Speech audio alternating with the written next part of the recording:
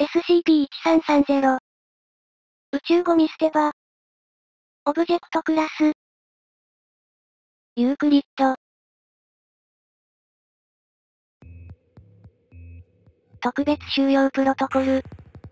ゴミ処理工場に偽装した研究サイト64が SCP-1330 の収容及び調査のために設置されています。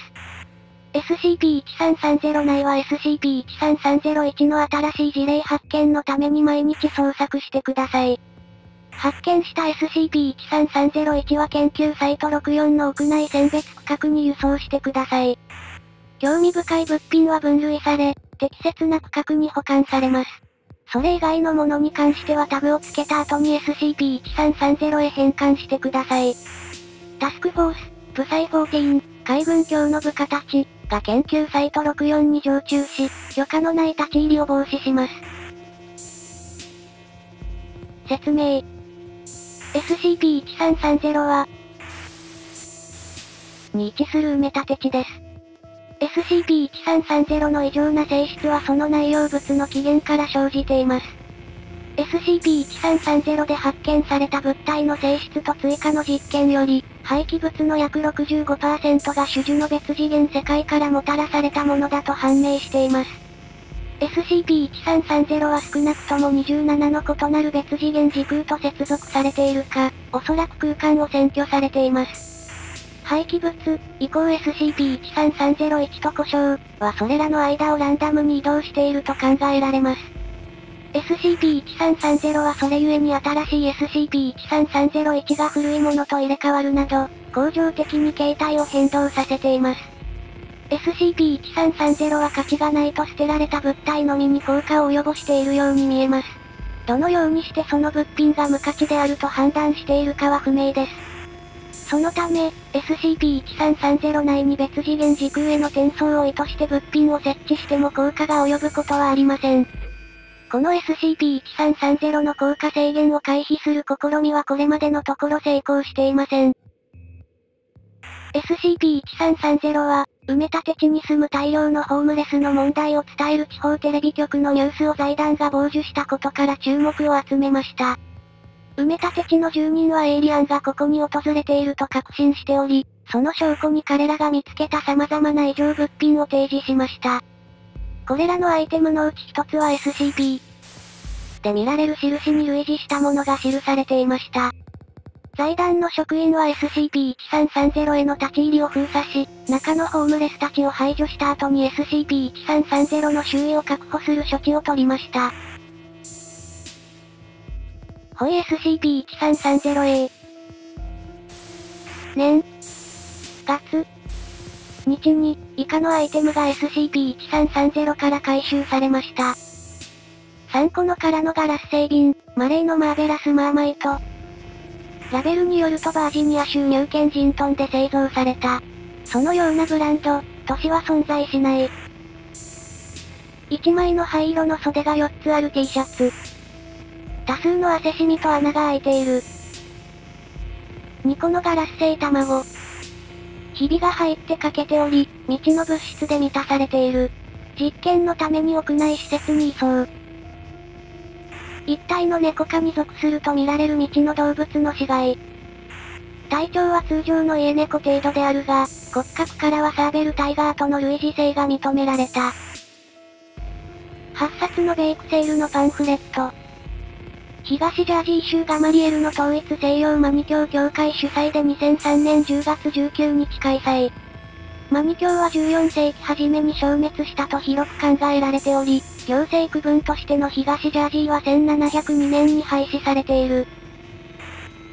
一冊の古代ギリシャ語の新聞、アゴーラ、ガゼッテ。新聞は食べかすとタバコの焦げ跡が残っており、カラー写真と現代の技術に関する記述を含んでいる。1台の機能しない携帯電話とイヤホン。農業機械と建設機械のみを製造し、1970年代後半に破産した電車によって製造された。機器内で見つかったマイクロチップとバッテリーの技術は財団の現在の技術水準よりも数十年以上先を行っているように見える。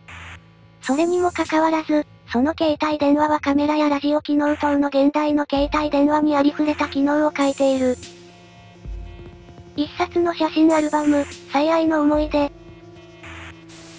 毛の所有。表紙にはいくつかの靴跡が見られる。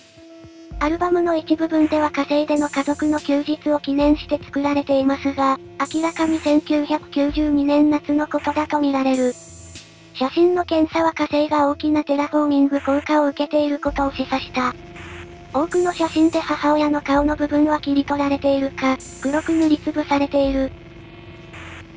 壊れた便器。800g の研磨済みダイヤモンドを含有。キューブの官能小説、変態大統領。第69代アメリカ合衆国大統領ディック、スタッドリーの冒険を描いている。本の印刷はひどく歪で、カバーを剥がすと、不合格の印が押されている。特筆すべき点としてスタッドリー大統領の相手役たちは5つの異なった性別を持っている。4つの空のソーダ缶、制服中エナジードリンク。パッケージによると、内容成分は水、70%、砂糖、10%、ヒ素、5%、20%濃縮ウラン、5%、処女の液地、9%、及び人工着色料、香料。オハイオ州ゴルゴタ、そのような町は存在していない、で製造。ホイ SCP-1330B。以下の通りの SCP-1330 の効果制限を回避する試みが実施されました。実験 1330A。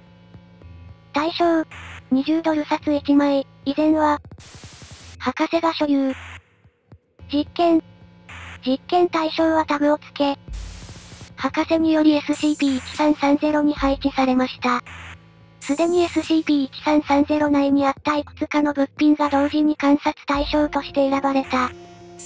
結果、2週間観察を継続するも20ドル札は SCP-1330 の影響を受けることに失敗したと結論。他の観察対象は1週間以内に全て消失し異なる物体に置換された。実験 1330B。対象。空のタバコ箱、以前は、博士が所有。実験。実験 1330A と同様、ただしタグは付けず遠隔監視のみ実施。結果、SCP-1330 の影響を受けることに失敗。実験 1330C。対象。リンゴの芯、以前は、博士が所有。実験。実験 1330B と同様、ただし何も知らされていないエージェントによって SCP-1330 に配置される。結果、SCP-1330 の影響を受けることに失敗。SCP-1330 は対象を利用しようとする隠された意図も感知できると考えられる。実験 1330D。対象、使用済みティッシュ、以前は D133012 が所有。実験。D133012 は SCP-1330-1 を分類する業務に携わっていたため SCP-1330 の効果を知っていたが、クラス B 記憶処置を施し、知識を失わせた状態で SCP-1330 内に実験対象を置いてくるよう命じた。結果、SCP-1330 の影響を受けることに失敗。SCP-1330 は所有者の意図だけでなく、物の配置に関わる関係者すべての意図を感知していると仮定される。実験 1330E 対象空き缶実験エージェントにゴミを集めてサイト19の博士に送るよう依頼。両者とも SCP-1330 の特性については知らない。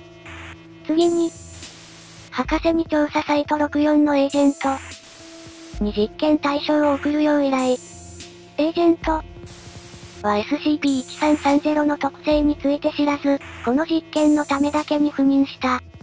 エージェントは同様に赴任させた D133056 に実験対象を渡し、D133056 が SCP-1330 内に対象を置いた。結果、SCP-1330 の影響を受けることに失敗。おそらく SCP-1330 は、製造や運搬、設置に関わる者が誰も知らなくとも、対象を転送しようとする意図を感知できると考えられる。実験 1330F 対象、実験目的のため開示不可。実験、サイト、のレベル0清掃員。にゴミを集めて別のサイトで働くレベル0清掃員に送り、43人の清掃員を経由するまで同様の指示を伝えるように依頼した。実験対象はその後に SCP-1330 に詳しくないエージェントによって集められ、調査サイト64に運ばれ、別の SCP-1330 の特性について知らないエージェントによって SCP-1330 内に配置された。カメラが対象の隣に設置され、27番目に対象を受け渡した。2、心理学実験だと称して中継映像を毎日監視させ、状態に変化があったら報告するように依頼した。映像の監視を含む実験の全ての段階で、SCP-1330 の特性について知っているいかなる人員も選ばれた実験対象の素性について知ることはできなかった。結果、実験対象は、によって2ヶ月にわたって1日に3回観察された。は試験対象に何の変化も見られないと報告した。その性質のために、SCP-1330 は有害物質を我々の次元へと送り込む用途には使えないと考えられる。